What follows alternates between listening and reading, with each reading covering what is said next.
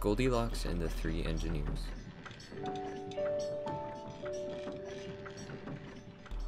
In a tiny bungalow, there lived a clever thinker. Young Goldilocks invented things. She'd make and craft and tinker gadgets that could zip up your coat and tie your tennis shoes, tools that can seek and find whatever you might lose. But Goldilocks was in a rut. She had an inventor's block. I have no inspiration left. I need to take a walk.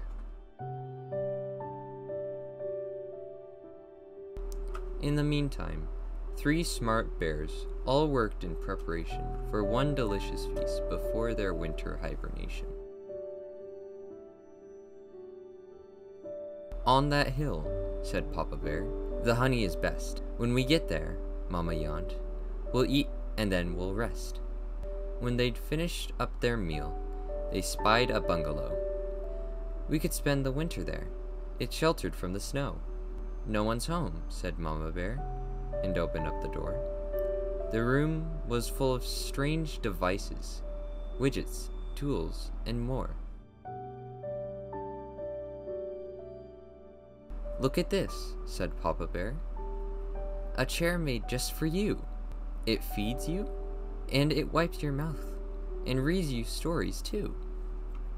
Oh my goodness, Mama said.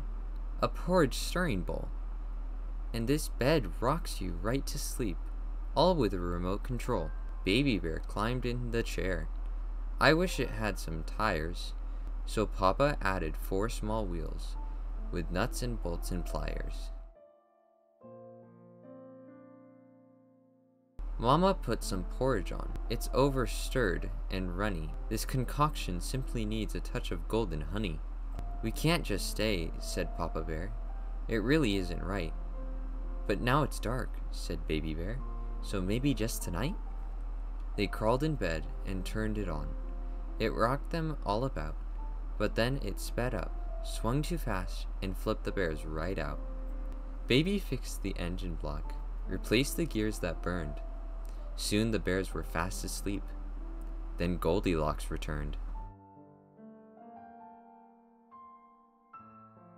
Who's been reading in my chair? and now it rolls around. I'll admit, this makes more sense, and it covers lots of ground. Who's been eating my porridge here? It's creamier somehow. Oh, there's honey in the mix. It tastes much better now. Goldilocks heard snoring sounds and followed cautiously. Who's that sleeping in my bed and staring back at me? Yikes!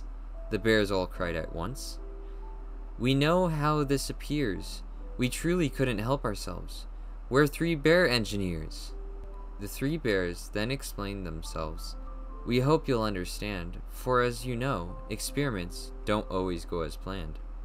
You've improved my projects here, and made them much more fun, proving that four brains, by far, are better than just one. Perhaps what I was looking for was not more inspiration, but engineers to team with me and bring their innovation. Goldilocks and these three bears exchanged ideas all night. Their teamwork triumphed in the end, and things turned out just right. Soon the three bears had to leave. We'll meet up in the spring, and when we do, said Goldilocks, we'll make the next big thing.